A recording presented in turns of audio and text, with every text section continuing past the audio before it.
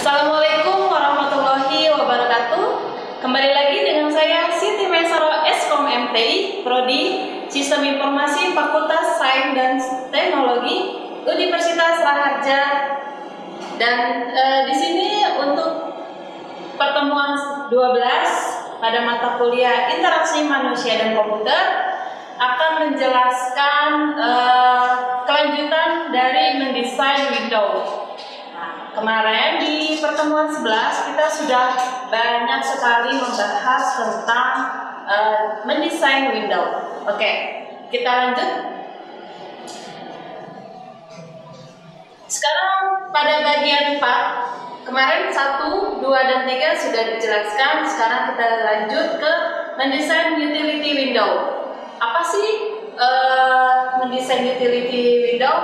Pertama kita membahas tentang instant apply Window yang mengizinkan user mengubah nilai atau setting seperti property atau preference, update nilai, terus uh, setting akan serta merta membuat perubahan pada Windows. Nah, maka eh, pada contoh Instant Apply adalah customize, uh, customize pada Microsoft Word.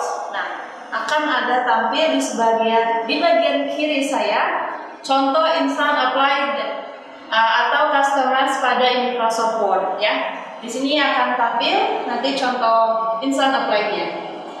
Oke. Okay. Uh, untuk utility uh, Windows selanjutnya yaitu explicit apply. Windows yang dapat nilai-nilai dengan secara eksplisit. Ciri khas dari explicit apply yaitu mempunyai tiga button. Yang pertama, apply. Apply itu mengimplementasikan semua setting dalam Windows. Tetapi utility window tidak langsung ditutup. Nah, yang kedua, cancel. Meriset sebuah perubahan pada setting di mana nilai-nilai dikembalikan keadaan saat window ini dibuka. Dan yang ketiga yaitu oke. Okay. Oke itu uh, berarti mengimplementasikan semua setting pada window dan menutup window preference ya uh, selalu ada tiga pilihan apply, cancel, dan oke. Okay. Oke, okay. untuk contoh explicit apply akan tampil di sebelah kiri saya ya. Dan tadi saya sudah jelaskan pasti di bawahnya itu ada pilihan oke, cancel, dan apply. Oke. Okay. Selanjutnya property window. Property window adalah tempat user dapat melihat dan mengubah karakteristik sebuah objek seperti dokumen, terus file atau aplikasi. Nah, untuk contoh properti pada Microsoft Word akan terlihat uh, ini sebuah file yang ber, berjudul lebih dekat dengan virus ya. Di sini nanti akan tampil. Oke. Selanjutnya kita akan membahas tentang preference window. Preference window adalah window tempat user dapat memodifikasi tampilan window maupun tingkah lakunya. Untuk contoh option pada Microsoft Word, nah akan tampil di sebelah kiri ya. Uh, di situ banyak berbagai uh, item dari view, general, edit, print, dan save dan banyak lainnya. Dan untuk di bawah ya uh, itu nanti ada uh, apply-nya itu nanti ada pilihan itu oke okay dan cancel. Oke. Okay? Selanjutnya kita akan membahas tentang toolboxes. Window untuk mengakses kumpulan aksi maupun dengan tampilan toolbar kecil seperti button. Contoh toolboxes pada VB 6.0 akan terlihat di sebelah kiri saya ya. Oke. Dan yang selanjutnya yaitu toolbox kategoris.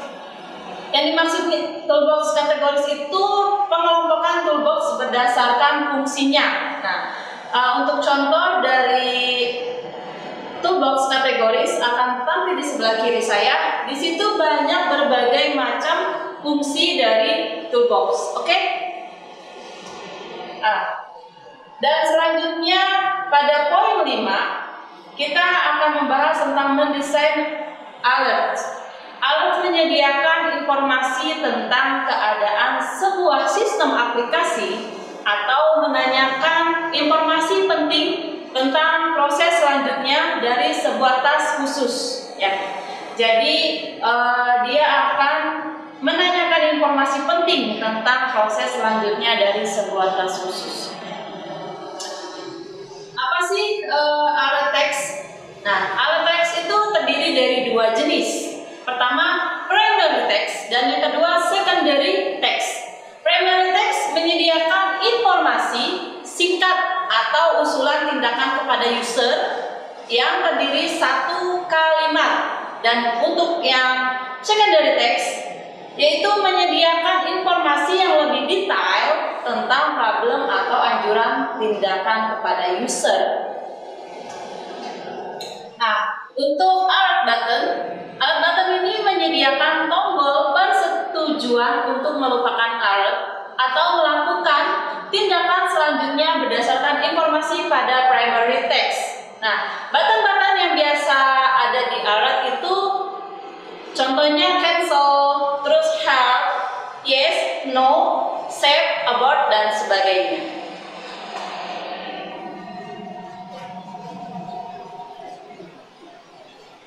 Pada item spacing and positioning, pedoman membuat alert ada empat, yaitu border mengelilingi semua sisi alert, terus ada spasi antara icon dan teks e, adalah itu 12 pixel dan spasi horizontal antara button adalah 6 pixel.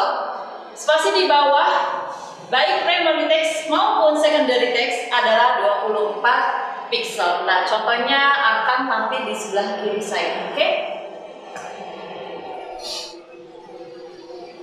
Selanjutnya kita akan bahas tentang information alert. Information alert memberitahukan semua informasi kepada user sebelum melanjutkan aksinya atau menampilkan informasi yang memang diminta oleh user. Nah, biasanya di sini akan ada waktu uh, kurang lebih 30 menit. Nah, dan kalian akan diberikan waktu untuk mengklik OK. Nah, contoh yang ada di sebelah kiri saya. Oke? Okay? Selanjutnya kita akan bahas tentang error alert. Digunakan untuk menampilkan peringatan error saat operasi yang diminta tidak dapat dilakukan secara lengkap. Nah, di situ nanti akan ada pertanyaan there were few errors atau continue. Nah, ada pilihan antara yes dan no. Oke? Okay? Gambarnya juga akan tampil di sebelah kiri saya. Oke. Okay. Selanjutnya set confirmation alert. Set confirmation alert itu membantu user agar tidak kehilangan dokumen atau perubahan pada dokumen ketika menutup aplikasi. Nah, di situ nanti kita uh, diperintahkan memilih antara yes, no, atau cancel. Nah, itu untuk save ya mengeset file yang sudah kita buat atau yang sudah kita kerjakan pada Microsoft Word ya. Oke. Okay. Selanjutnya authentication alert. Memaksa user memasukkan informasi yang diperlukan untuk dapat mengakses informasi lebih lanjut. Nah, biasanya itu uh, authentication pada suatu aplikasi. Uh, tampilan yang pertama username dan password. Nah, baru klik OK. Atau authentication pada Linux. Nah, pada Linux tersendiri uh, dia sudah langsung ada common ya, karena sebelumnya kita sudah pernah bahas ya untuk alamat uh, common pada Linux. Terus nanti kita cuma masukin password aja dan ada dua pilihan klik OK atau cancel. Oke? Okay? Yang keenam yaitu mendesain dialog boxes. Dialog boxes atau kotak dialog menyediakan pertukaran informasi atau dialog antara user dan aplikasi dapat menggunakan kotak dialog untuk menangkap informasi yang diperlukan dari user. Untuk tugas atau aksi tertentu misalkan percetakan. Nah, pedoman umum membuat uh, kotak dialog akan tampil di sebelah kiri saya. Di situ ada border, terus ada perintah yang. Modality dapat berupa modal maupun non modal Windows atau title format atau yang disebut nama perintah ya. Dan selanjutnya. Oke, okay. additional button. Kita dapat menambahkan button tambahan selain afirmatif button atau tombol persetujuan dan cancel. Nah, pedoman memberi button tambahan ada dua yaitu tempatkan button tambahan dalam satu area bagian bawah kontak dialog di sebelah kiri button standar dan aturlah button berdekatan dengan kontrol yang berhubungan dengan button tersebut. Oke, layout. Sebaiknya menyusun kontrol dengan memperhatikan arah pengguna aplikasi membaca di mana umumnya biasanya dari kiri ke kanan ya, dari kiri ke kanan dan dari atas ke bawah. Karena itu ditempatkan kontrol utama sedekat mungkin dengan posisi ujung kiri atas. Nah, contoh pada Macromedia Flash MX akan ada tapi di sebelah kiri saya. Ini adalah contohnya. Contoh Macromedia Flash MX ya. Oke. Okay. Uh, eh, mungkin di pembahasan materi pertemuan 12 cukup sampai di sini. Kita akan lanjut di materi pertemuan ke-13 pada mata kuliah interaksi manusia dan komputer. Kurang lebihnya saya mohon maaf. Selalu jaga kesehatan, selalu bahagia dan selalu bersyukur. Assalamualaikum warahmatullahi wabarakatuh.